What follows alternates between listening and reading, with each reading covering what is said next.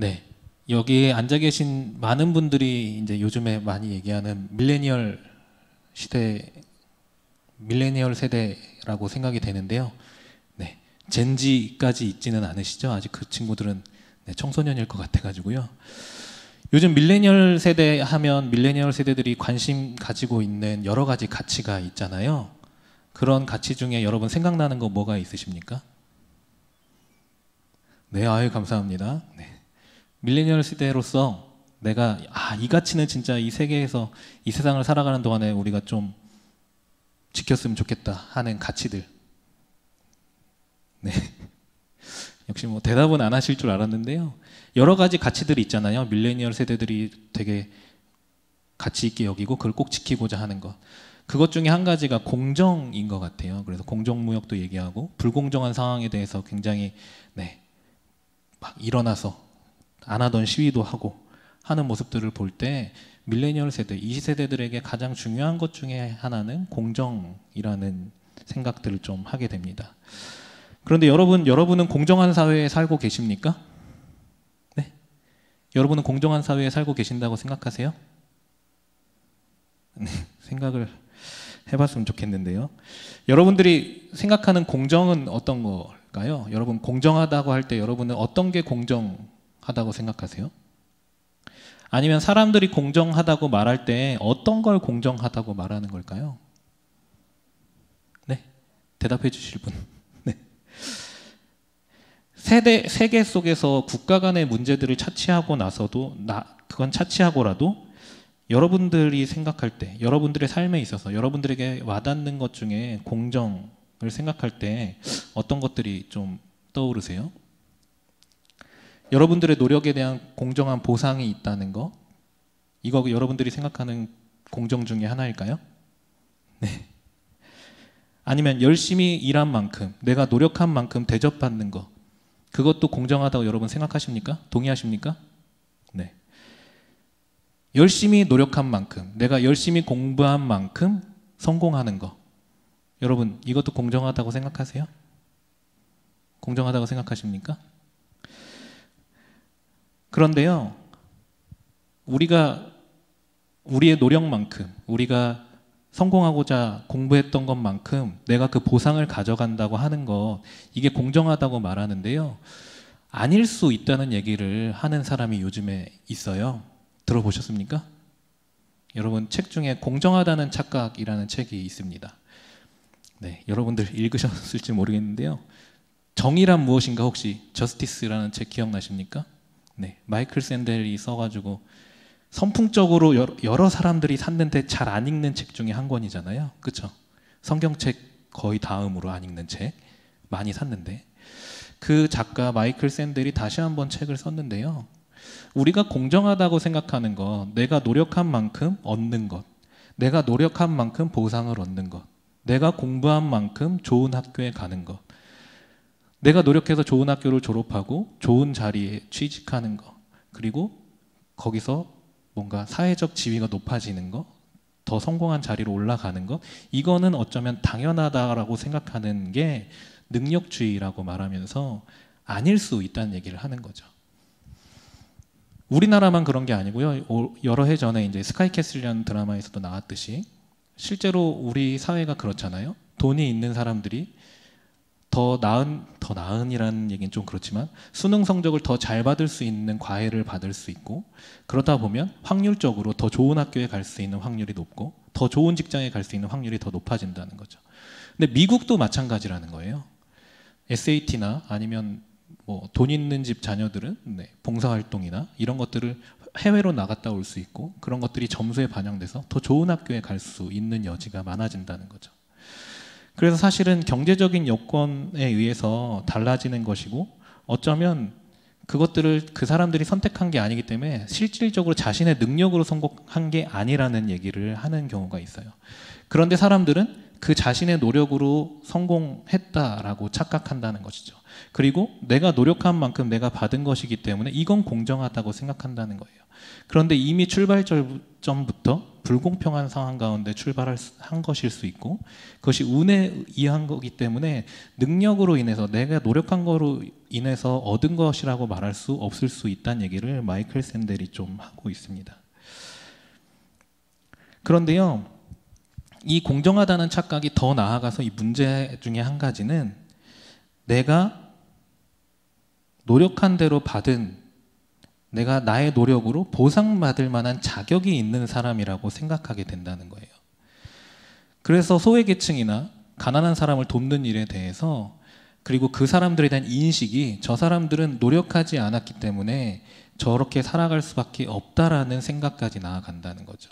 그들에 대한, 그들에 대한 인식마저도 바뀐다는 거예요. 그리고 나는 보상을 받을 만한 사람이다.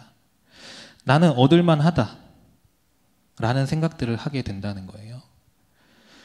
우리가 공정하다는 착각 속에서 이런 계층을 만들어내고 그 계층 간의 인식의 차이를 만들어내고 무시하는 일들이 일어난다는 거죠. 그래서 그것들을 우리가 해결해야 된다라고 말하면서 쓴 책이 공정하다는 착각입니다. 그런데 여러분들은 어떻게 생각하세요? 여러분들은 이렇게 얘기를 듣고 나니 공정한 사회에 살아 계시고 살아가고 계십니까? 여러분들은 얼마나 공정한 사회에서 여러분들이 공정한 모습으로 살아가고 계십니까? 이게 어떤 사회에서의 성공만 공정하다는 착각이 있는 게 아닌 것 같아요. 우리의 신앙 생활 안에서도 그런 모습이 드러날 때가 있는 것 같습니다.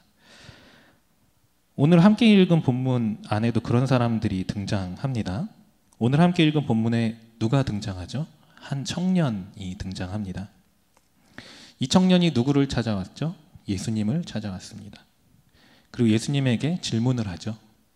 이 질문을 통해서 이 청년은 얻고자 하는 게 있었습니다. 그것이 무엇이냐 하면 여러분 함께 읽었듯이 16절에 보면 영생 어떻게 해야 영생을 얻겠습니까? 이렇게 질문해요. 뭐 죽고 나서 사후 세계를 가는 거 떠나서 하나님의 나라, 예수님이 완성할 하나님의 나라에서 내가 얻을 유익이 무엇이냐, 내가 뭘 소유하겠느냐라는 질문일 수 있겠죠. 그래서 그 영생, 자기가 하나님 나라를 소유할 수 있는 방법에 대해서 묻고 있어요. 그런데 예수님의 답변 굉장히 심플하죠. 그리고 지금까지 우리가 생각하고 있는 복음서를 생각해서 복음서에서 예수님의 모습을 생각했을 때와 좀 다릅니다. 예수님은 그 영생을 얻기 위해서 너는 율법을 지키라라고 얘기하죠. 예수님이 율법을 해석해서 이 율법의 의미는 어떤 것이니 너는 그렇게 살아야 한다라고 말하지 않고요. 율법을 지키라고 이야기하세요. 그냥 율법의 조항들을 이렇게 말씀하시죠. 거기에 여러분들 잘 알고 있듯이 청년이 아주 자신만만하게 대답합니다. 그 모든 것을 내가 다 지켰습니다. 어, 대단 대단하지 않습니까? 여러분 성경 안에서 내가 이런 율법을 다 지켰습니다. 이렇게 당당하게 말하는 사람 몇 명 없어요. 네, 그리고 그런 사람들이 네, 조금 특이한 사람들이죠. 뭐 바울도 사실 특이하지 않다고 말할 수 없으니까요. 그렇게 율법을 다 지켰다라고 말할 수 있는 거 어려운 거예요. 성경 안에서도 그렇게 말하는 사람이 없습니다. 그런데 그 힘든 걸 이 청년이 해내죠. 청년은 율법에 관해서는 자기가 부족한 게 없다라고 이야기하고 생각해요. 그런 청년에게 예수님이 한 가지를 더, 아니죠? 두 가지를 더 말씀하시죠. 소유를 팔아서 가난한 자에게 주라. 그리고 너는 나를 따르라. 그러면 너한테 하늘의 보화가 있겠다라고 얘기하시죠. 청년에게 추가적으로 주어진 율법의 결과가 뭐죠? 청년은 근심하며 돌아갔다라고 얘기합니다. 이유는요? 잘 써 있죠. 재물이 많음으로 근심했다라고 얘기합니다. 그 재물을 놓는 것이 너무 어려워서 예수님을 떠난 것처럼 보여져요. 그리고 예수님 말씀하십니다. 부자가 천국에 들어가는 것이 어렵다. 낙타가 바늘기로 들어가는 것보다도 어렵다. 여러분 이게 어렵다는 표현으로 들리십니까? 네? 어렵다는 표현으로 들리세요? 바늘기로 낙타가 들어갈 수 있습니까? 하실 수 있는 분 있으십니까? 이건 사실 예수님이 불가능하다라고 말씀하시는 거예요. 세상의 것을 아까워하면서 예수님을 따르지 못한 청년에 대한 아쉬움 그리고 그 청년의 모습 가운데 부자의 모습을 빗대어 이야기하시죠. 그런 자들에게 구원이 있을 수 없다라고 말하는 것처럼 보여집니다. 그런데 잘 생각해 보면 그것뿐일까요?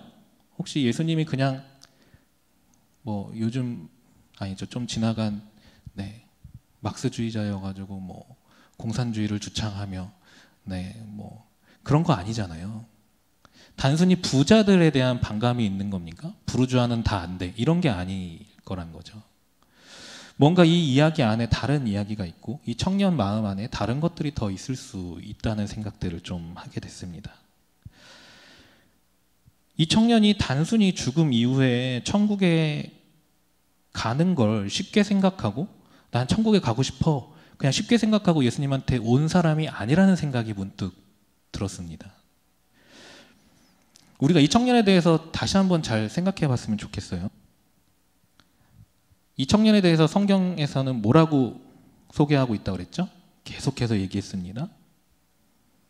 부자라고 소개합니다. 다른 표현은 없어요. 부자. 기준이 모두 다르겠지만 우리 시대에도 수많은 부자들이 있습니다. 부자들 못 보신 건 아니죠? 네. 수많은 부자들이 있습니다. 어쩌면 그 부자라는 존재들이 우리 주변에 너무 많아서 피상적으로 와닿는지도 모르겠어요. 그런데 생각해 보면 당시에 예수님 시대의 부자들이 그렇게 많았을까요? 그렇게 많았을까요? 뭐 지금 저희 뭐 현금 10억 가진 부자들이 막 있는 것처럼 그렇게 많았을까요? 어쩌면 우리가 지금 생각하는 재벌 정도 한 나라의 뭐 100대 기업 정도 그런 총수 정도를 우리가 이 성경 시대에는 부자라고 불렀을 수 있다는 거예요. 부자가 극히 적었던 때입니다.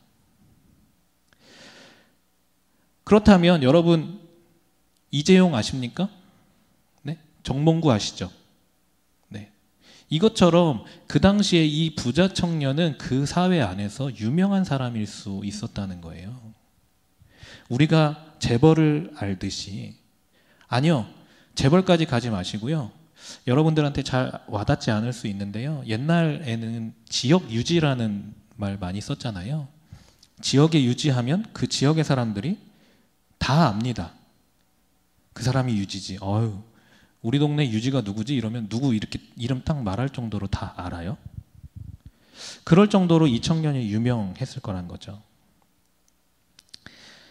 이름이 없는 사람이 그냥 온 게 아니고요. 그 사회 안에서 유명 인사가 온 거라는 거예요. 여러분 이 유명 인사가요. 예수님 이 당시에 예수님 굉장히 네, 호불호가 갈리는 사람을 찾아와서 이런 질문을 한다는 거 쉬운 문제가 아닙니다. 그렇다면 이 청년은 사실은 굉장히 진지한 질문을 가지고 온 거예요. 굉장히 진지한 마음으로 예수님께 나온 거죠. 그리고 오늘 이야기에서 돈 많은 것만으로 이 청년이 유명하지 않습니다. 우리가 부정적으로 얘기해서 그렇지 율법을 지킨다라는 거예요. 유대 사회 안에서 율법을 지키면서 살아간다는 거, 그리고 그 율법을 자신 있게 나는 율법을 다 지켰다라고 말할 수 있는 사람이요. 대단한 사람입니다. 추앙받죠. 바리새인들이 그 사회 안에서 왜 영향력이 있었습니까? 뭐 정치적으로 뭐 이렇게 할 수 있겠지만 그 사회 안에서 자신들이 하나님의 말씀이라고 생각하는 율법들을 지키는 사람들이라는 생각들이 있었기 때문이죠. 이 청년이 그 바린세인처럼 난 율법을 지키는 사람이라고 다 지켰다라고 얘기한다는 거예요. 그렇다면 사람들이 보기에 이 청년은요, 하나님의 뜻에 순종하는 사람으로 보여졌을 수 있다는 거예요. 그리고 하나님을 가장 우선해서 살아가는 사람으로 보여진 사람이라는 거죠. 우리가 생각하는 것만큼 그냥 아우 돈 많은데 예수님한테 나 영원한 생명을 얻을 수 있어요? 이렇게 질문했다가 안 된다 그러니까 삐져가지고 가는 모습이 아닐 수 있다는 겁니다. 부자 청년은 사람들에게 하나님을 따르는 사람으로 그 하나님을 따르면서 은혜를 입어서 많은 재물을 얻은 사람으로 여겨지는 사람이었다는 거예요. 그런 그가 예수님을 찾아왔다는 거. 새로운 하나님의 나라가 올 때 나는 어떻게 될까에 대한 기대를 가지고 가, 살아갔던 사람이라는 거죠. 이 찐이라는 겁니다. 관심이요. 그냥 호기심이 아니고요. 찐이에요. 내가 그 하나님의 나라를 소유할 수 있을까? 내가 그 안에 살아갈 수 있을까? 굉장히 진지한 사람이었다는 거죠. 진정으로 하나님의 나라에 대한 기대를 가지고 나온 사람입니다. 그래서 예수님이 율법을 말했을 때 더 자신있게 말했을지도 몰라요. 율법을 계속 지키면서 살아왔으니까요. 그런데 예수님이 거기에 단 두 가지를 추가하셨는데 근심하며 돌아가죠. 근심하며 돌아가는 이유가 그저 재산이 많아서였을까요? 어쩌면 자신이 하나님의 나라를 소유한다는 것, 자기가 하나님의 나라의 백성이 되고 영생을 얻는다는 것이 그것에 무언가 추가되어야 한다는 것에 당황하고 그것이 자신이 생각했던 것과 다른 것에 당황해서 근심하며 돌아갔던 것일 수 있다는 겁니다. 어쩌면 이 청년은요, 그 당시의 생각, 그 당시 사람들의 생각으로요, 자신은 당연히 하나님의 나라를 유업으로 받을 사람이라고 생각했을 수 있다는 거예요. 요즘도 좀 그런 모습이 보일 때가 있는데요. 당시에는 부유하면 부유할수록 하나님의 축복을 받은 사람이라고 생각하는 경향들이 있었어요. 여러분 욥기에도 잘 보면 그 받은 축복이 하나님으로부터 온 것으로 인식하고 이야기하는 케이스들을 볼 수 있습니다. 계속 얘기했죠. 이 청년 그냥 돈이 많은 게 아니고 율법을 잘 지켰어요. 율법을 잘 지키면서 하나님의 사람으로 하나님의 뜻을 따라가면서 얻은 부유함을 가진 사람으로 인식했을 수 있다는 겁니다. 그래서 자신은 하나님의 뜻을 잘 따르는 사람이라고 생각하고 예수님께 나아갔을 때 그 나라를 소유하게 될 거라라는 답변을 듣기 원했고 기대했을 수 있다는 거예요. 아, 난 당연히 그 답을 듣겠지. 내가 이렇게 했으니까. 그런데 그 답을 못 들은 거죠. 그 기대가 무너진 겁니다. 무언가 추가되어지고 자신이 하나님께로부터 받았다고 생각하는 것들을 포기해야 되는 상황 앞에 선 거죠. 그래서 근심하며 돌아간 것 아닐까요? 이게 저의 과한 상상이겠습니까? 그런데요, 이, 이런 배경이요, 이 청년에게만 드러나는 게 아니고요. 제가 아 진짜 그럴 수 있겠다고 생각한 건 제자들의 반응 때문입니다. 제자들의 반응을요 오늘 이야기 속에서 보면요 제자들이 청년이 떠나간 이후에 예수님이 하나님의 나라에 부자가 들어가기가 어렵다고 말씀하셨을 때 반응이 뭐였는지 혹시 기억나십니까? 여러분 부자 청년만 남아 있어 가지고 이 제자들의 반응이 잘 기억이 안 나시죠? 제자들 뭐라고 반응했습니까? 제자들의 반응 25절에 보면요. 몹시 놀랐다라고 얘기합니다. 그리고 나서 제자들이 묻죠. 베드로가 묻습니다. 아니죠. 제자들이 묻습니다. 그가 그러면 누가 구원을 얻을 수 있겠습니까? 라고 질문해요. 여기에 전제는 뭐예요? 제자들도 그 부자 청년이 하나님으로부터 받은 것이 많고 율법을 지키는 자로서 구원을 받을 줄 알았는데 저 청년도 구원을 못 얻는다면 도대체 누가 구원을 얻을 수 있냐고 질문하고 있는 거예요.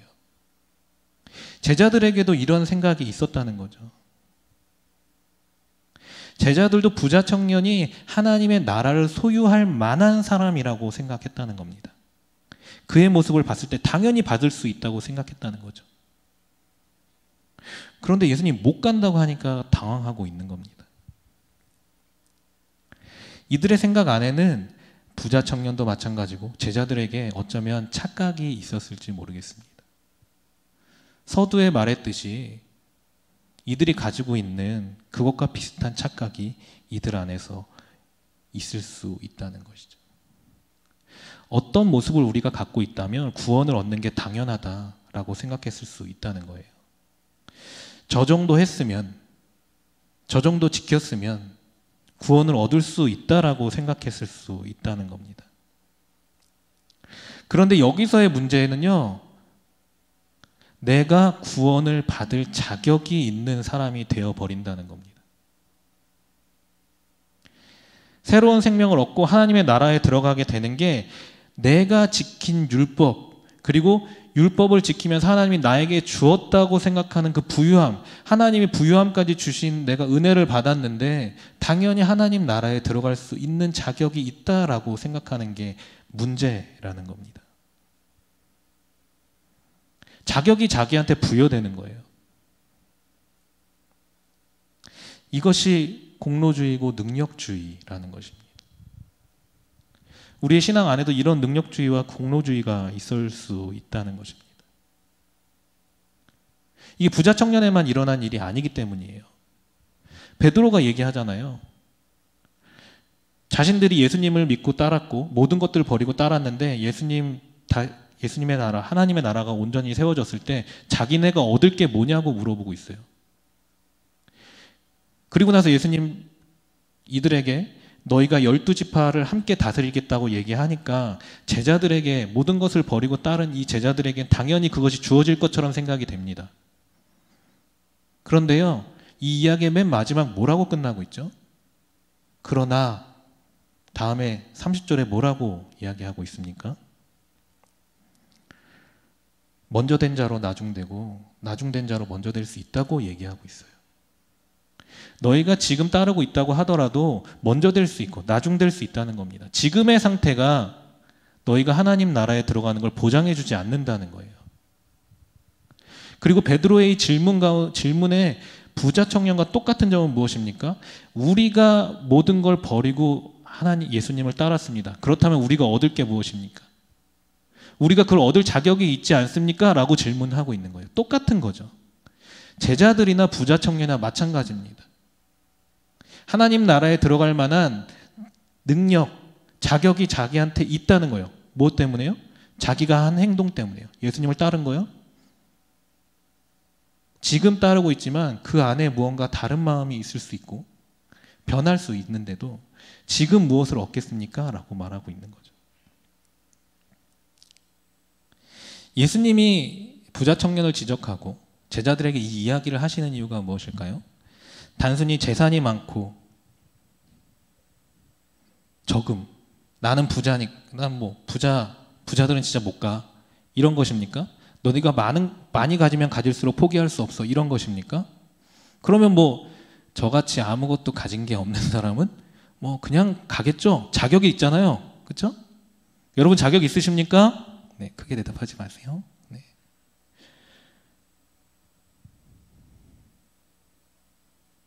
가진 게 없다고 괜찮을까요? 제가 예수님을 따르는, 따르겠다고 지금 사역자의 길을 간다고 해서 제가 당연하게 하나님의 나라를 유업으로 받는 겁니까? 제가 하나님의 나라를 소유하게 됩니까? 지금 예수님을 따라다니고 있으니까 당연히 얻겠지. 나는 얻게 될 거야. 난 그런 자격이 있잖아. 예수님을 따라갔으니까 이 얘기를 하는 게 아니라는 거예요.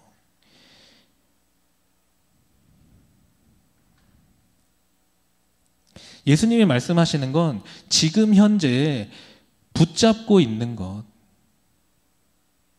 내가 이게 하나님의 나라를 소유하고 하, 그리, 내가 진짜 그리스도인이 될 만한 자격, 내 구원을 얻을 만한 자격이 있다라고 생각하는 그 모든 것들이 하나님 나라를 소유하지 못하게 만든다는 거예요.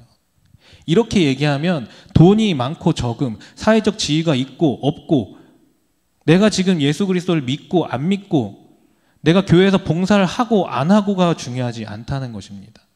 그것이 지금 예수님이 무언가 나에게 다른 이야기를 하시고자 할 때 따르지 못하게 하는 거라면 그 모든 것이 예수님을 따르지 못하게 하는 것이라는 거예요. 부자 청년에게 있는 재물이요. 우리에게 있는 무엇일 수 있다는 겁니다. 하나님의 나라를 소유하는 걸 이야기할 때 우리가 하나님 나라를 소유하고 하나님 나라의 백성이 되어진다고 말할 때 우리에게는 아무런 공로와 능력, 우리의 능력으로 되는 것이 없고 우리의 공로가 없습니다. 우리의 자격이 없어요. 우리에게는 그럴 만한 자격이 아무것도 없습니다. 그런데 신앙생활을 하다 보면 우리는 그런 자격을 가진 사람인 것처럼 생각한다는 거예요. 내가 임원을 이렇게 했으니까 내가 이 정도 봉사했으면 나에게 하나님이 주시는 은혜가 있어야지라고 생각한다면 여러분 부자 청년이 재물을 생각하는 것처럼 여러분 생각하시는 거예요. 내가 교사를 이만큼 했으니까 나에겐 은혜가 있겠지. 나에게 축복이 있겠지. 이렇게 생각하면 똑같다는 겁니다. 내가 하나님의 은혜를 받을 만한 사람이 되어지는 거예요.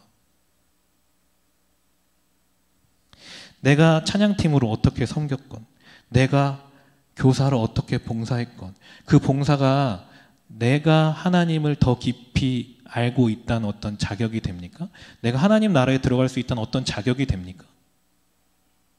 그럴 수 없다는 거예요. 만약에 그런 게 있다면 우리는 부자 청년인 것입니다.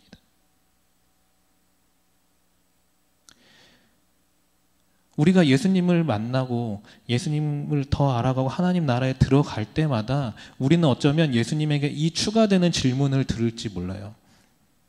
예수님 내가 이렇게 했습니다. 나왔죠. 하나님 나라에 내가 어떻게 들어가겠습니까? 너 교회 예배는 잘 드렸니? 봉사는 했니? 얼마나 봉사했니? 어, 저 이렇게 했습니다. 그러면서 여러분 자신 있게 말하면서 자격이 있는 것처럼 말씀하시겠습니까? 우리가 하나님 나라에 들어갈 때, 그리고 하나님 나라의 백성으로 살아가기를 원할 때마다 예수님이 이 질문을 던질 때 우리는 항상 우리의 무엇인가를 포기해야 한다는 거예요. 여러분, 가난하게 살아가라는 얘기가 아닙니다. 여러분이 자격으로 생각할 만한 무엇이 있다면 그 모든 것들을 포기하라는 말씀이에요. 내 능력으로 하나님 나라를 소유할 수 있을 것처럼 하지 말라는 말입니다.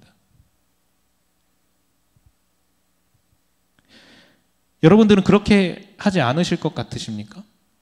제가 제 후배들 혹은 청년들 중에 저한테 그렇게 아직 찾아온 사람 없었는데요. 여기서는 제 후배들이 만나서 뭐 가끔 이제 뭐 여러 가지 신앙적인 이야기를 하다가 그런 얘기들을 할 때가 있습니다.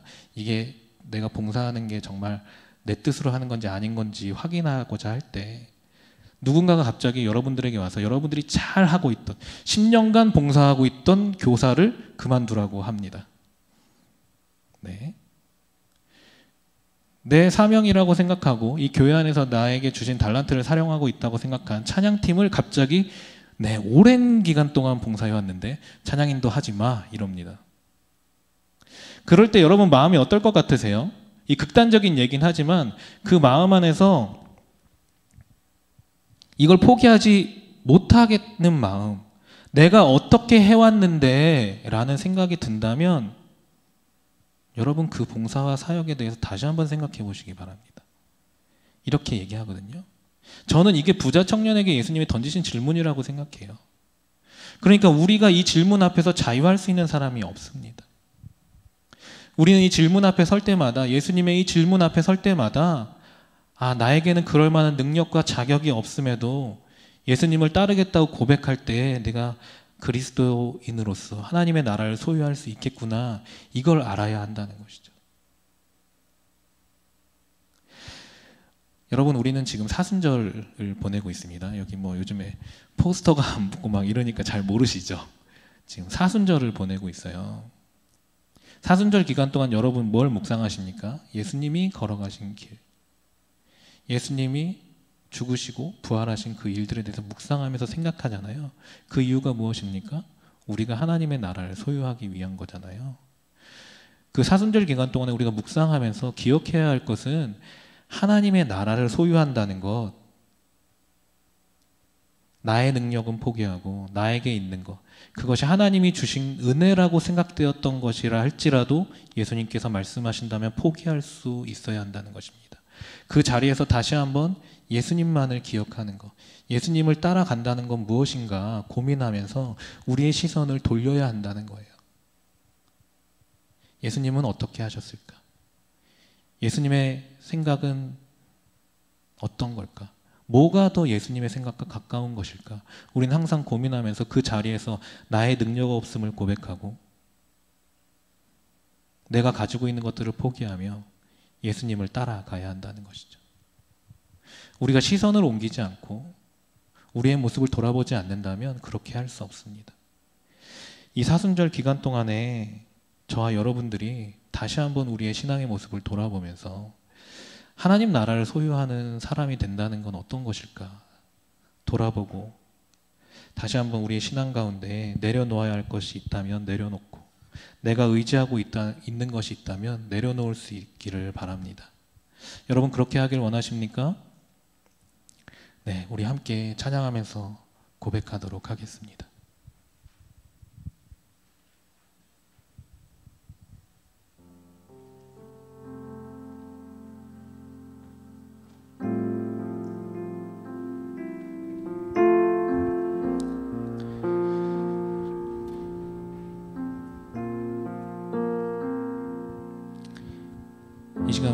찬양의 가사로 고백할 때 우리가 항상 시선을 다시 한번 돌려 주님을 바라볼 수 있게 하여 주시옵소서. 그래서 우리의 마음 가운데 돌이켜야 할 것들이 있다면 우리가 붙들고 있는 무언가 부자 청년의 재물 같은 것들이 있다면 내려놓게 하여 주시옵소서. 그래서 우리가 정말 하나님의 일들만 경험하며 예수님을 따라갈 수 있게 해달라고 고백하며 나아가길 원합니다.